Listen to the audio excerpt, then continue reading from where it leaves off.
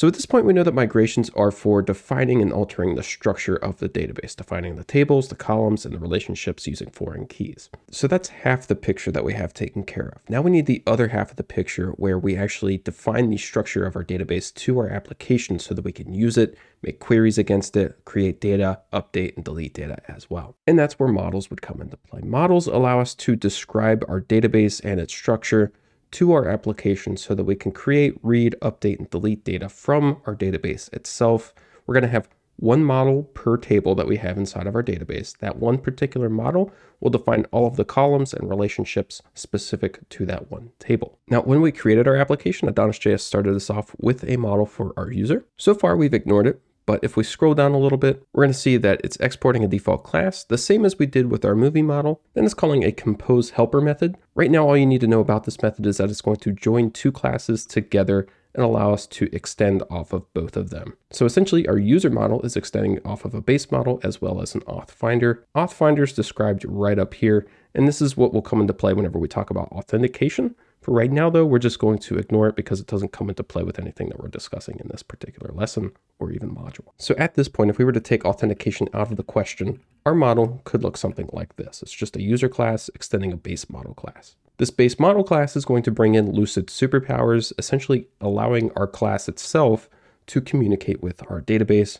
querying information, creating information, updating, and deleting as well. It's also going to use these column decorators that we have added onto our property declarations to describe these property declarations as columns inside of our database. As we'll see throughout this module, we can have additional properties described inside of our user class or any model therein that aren't particularly columns inside of our database, but these column declarations inform Lucid that this property should be matched against a column inside of our database itself. So that whenever we query using our user model, it knows to pluck the ID and plop it into this particular property. These column decorators, as you can see right here, also allow us to define additional things about the column itself. For example, our ID is our primary key, essentially saying that the ID uniquely identifies one particular record inside of our user model and inside of our users table. If we scroll down a little bit, we're also going to see column.datetime. This informs Lucid that we want to ingest the created at and updated at for these two columns as Luxon datetime objects, so that whenever we query a user, these created at and updated at properties will actually come back as Luxon datetime objects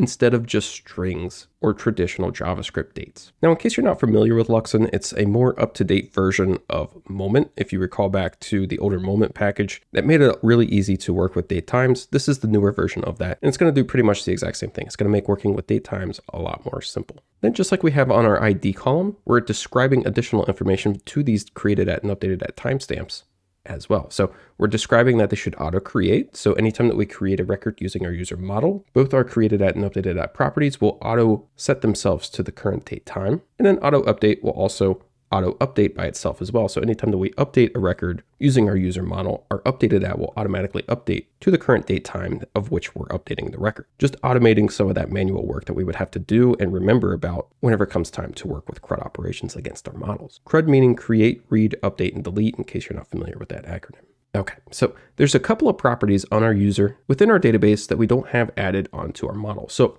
we need to get those added. First, we have our role ID. So we'll come in here, we'll describe a brand new column, and let's go ahead and declare role ID, and that'll be of type number.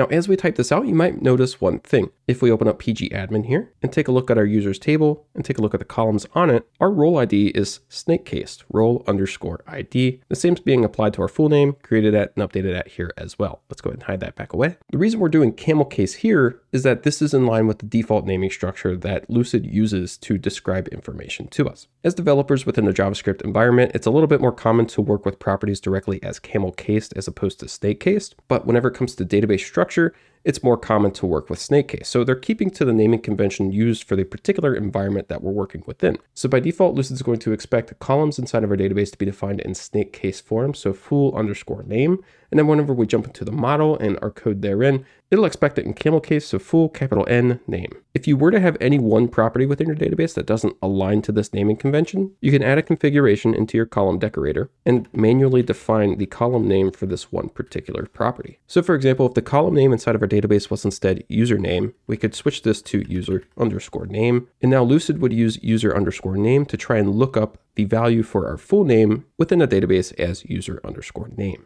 Now you can also change the default naming convention used by Lucid. So you can change the snake case within the database and even the camel case within your models. And to propagate that everywhere, you can make that change on the base model itself, which all of our models will extend. But that particular use case is outside the realm of this lesson. Just note that it is an option. Okay, so we're done with our tangent about naming conventions here for our models. We know snake case in the database, camel case in the model. We have one additional column to define for our user. So at column, declare, and we have our avatar URL, which will be a string. Cool. Now, before we leave this model, I'm going to add that compose back so that we don't forget about it along with our auth finder, just like so. But don't worry about that at this point in time. We'll cover that whenever we get to authentication.